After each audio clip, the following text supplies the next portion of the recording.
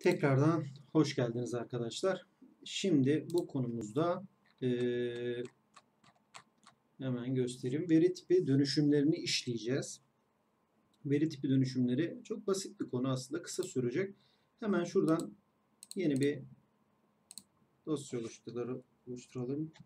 Veri alt tipi alt dönüştürme nokta py dedim.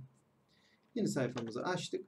Şimdi Python ve diğer çoğu programlama dillerinde veri tiplerinin birbirine dönüştürülmesi oldukça önemlidir. Bazı zamanlar bir ondalıklı sayıyı tam sayıya dönüştürme, hatta ve hatta bir string'i tam sayıya dönüştürme işlemleri programlamalarımızı yazarken büyük önem taşır. Bu konuda bu tür dönüşme, e, dönüşümlerini öğrenmeye çalışacağız.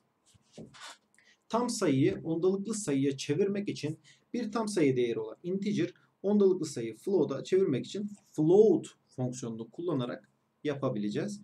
Örneğin a eşittir 43 dedim.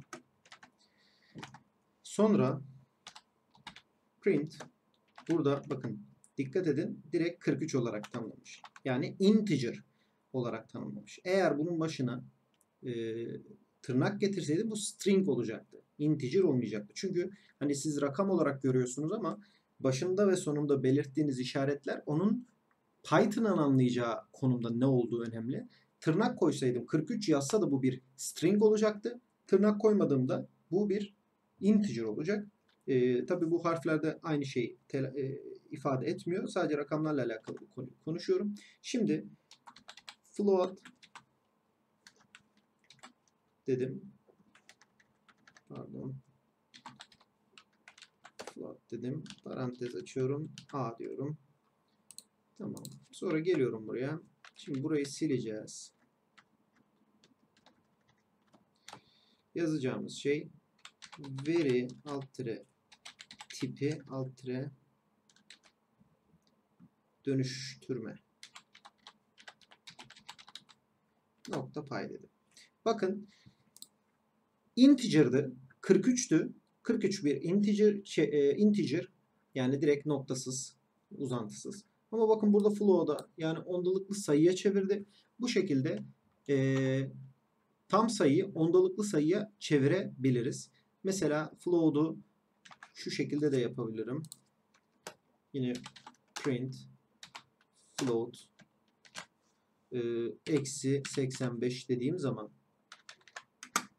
bunu da gelip burada tekrar çağırdığımda bakın 85.0 yaptı. Eksi 85.0. Bu şekilde yapabilirsiniz. Integer'ları e, float'a çevirirsiniz. Peki float'ları integer'a nasıl çevireceğiz? Keza yine bu şekilde float bir değer belirtelim.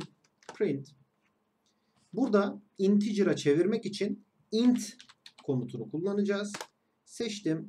Yine bir boşluk bıraktım. 18.6 dedim. Bakalım bize bunu ne verecek? Bakın 18 olarak verdi. Neden? Çünkü noktalı kısmını yuvarlama seçeneği de yok tabii ki. Yuvarlamıyor. Direkt noktadan sonrayı silip nokta ile birlikte atıp çöpe bize sadece başındaki rakamı getiriyor. Burada ondalıklı sayıyı tam sayıya çevirmede. Eğer float'a yani ondalıklı sayıya çevirmek istiyorsanız float diyorsunuz. Tam sayıya çevirmek istiyorsanız da e, int, integer'ın int'ini kullanıyorsunuz. Bu şekilde deniş, dönüşümler yapabiliyorsunuz. Peki sayıları string'e nasıl çevirebiliyoruz? Mesela burada A'yı belli bir rakama tan tanımlamışız. Ben burada B'yi tanımlayacağım. B eşittir. Şöyle bir rakam dedim. Sonra bu şu anda string değil. Çünkü string olabilmesi için dediğim gibi tırnak arasına yazmam gerekiyordu. Şu an bir string ama ben bunu ne yapacağım? Bu şekilde getirdiğim zaman bakın bu şekildeyken integer oldu. Integer oldu. Şimdi ben bunu şöyle yapacağım. Print int şey pardon str str burada e, çevirmek istediğimiz integer'ı string'e çevirmek için kullandığımız komut oluyor. Ben burada buna b diyeceğim.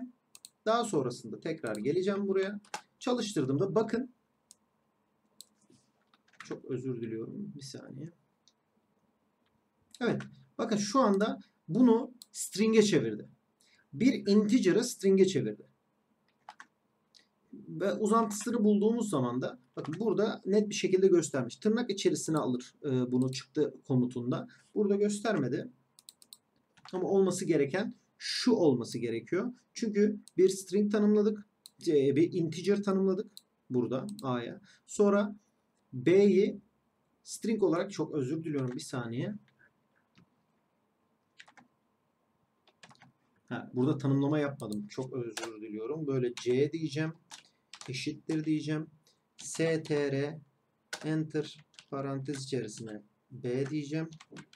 Daha sonrasında burada da C'yi çağıracağım. Bu şekilde yaptığınız zaman str dediğiniz zaman olmuş olması gerekiyor. Tekrar bakıyorum.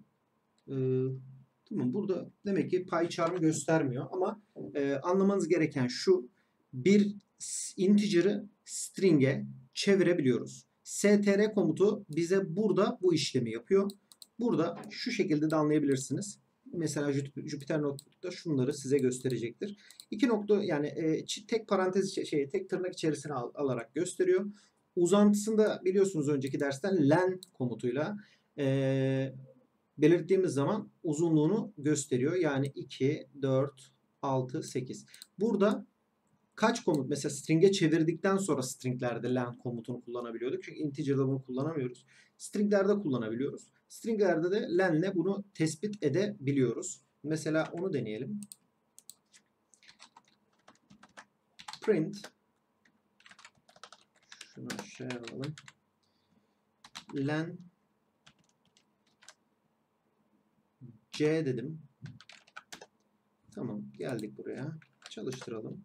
Bakın 8 sonucunu bana verdi. Tamam burada noktalama işareti koymadı başına sonuna ama 8'i bulmuş olduk. Ee, bir integer'ı string'e çevirdik. Peki stringleri tam sayıya çevirebilir miyiz? Tabii ki çevirebiliriz ama şöyle. Şimdi yazmama gerek yok. Buradan çok basit bir şekilde anlatabilirim. Bakın dikkat edin. Burada A'yı iki nokta şey çift tırnak arasına yazdığımız zaman ne demiştik? Bu bir string oluyor. Ama çift tırnak içerisinde, tek tırnak ve üç tırnak içerisinde kullanmazsak ve rakam yazarsak bu bir integer olarak tanımlıyor Python kendi beynini. Ve diyoruz ki burada A işte bu bu string olsun diyoruz. Sonra B'yi yani B'yi tanımlarken diyoruz ki A'yı bize integer olarak çevir. Sonra bir bakıyoruz. Başta göstermiştim nokta, tırnak vardı. Eğer integer değil de string olsaydı burası burada tırnak içerisine yazmış olacaktı. Yani bir string olarak tanımlayacaktı ama bu bir integer'a dönüştü. Integer'a dönüştürme işlemimiz tekrar int komutuyla yapılabilir. Ama eğer onluk tabanda yazmazsanız bu şekilde farklı bir şekilde belirtirseniz hem rakamlardan hem de sayılardan oluşan bir string yazarsanız ve bunu integer'a çevirmek isterseniz burada hata verir. Çünkü bunların verileri yani bunların tipleri şunları tipline farklı olduğu için karakter olarak sayı içermediği için olmaz. Burada hata alırsınız. Bunu da bu şekilde aklınızda tutabilirsiniz. Stringleri ondalıklı sayıya çevirme işlemi dersek yine aynı şekilde e, bir string tanımladık. Bakın iki çift tırnak içerisinde bu bir string. Bunu float'la yine string'den integer'a şey, ondalıklı sayıya çevirme, float'a çevirme işlemi yapabiliyoruz. Yine şu şekilde bir tanımlama yaparsak burada hata verir çünkü iki tane nokta koymuş olursunuz. Bu işlemi de burada yapamayız. Yapabilmemiz için şu şekilde ondalıklı bir sayı ol, yani sayı olarak belirtip string olarak tanımladıysak bunu flow'da bu şekilde çevirebiliyoruz. E, veri tipi dönüşümleri bu kadar. Bu kadar basit, kolay, akılda kalıcı olduğunu düşünüyorum. Takıldığınız yerde videoların altına bildiğiniz, eksik kalan, anlayamadığınız yerler olduğunda da videonun altına yazarsanız veya bana özelden ulaşırsanız kafanıza takılan soruları ben buradan size elimden geldiğince yardımcı olarak söyleyeceğim. Ee, bir sonraki derste görüşmek üzere. Hoşçakalın.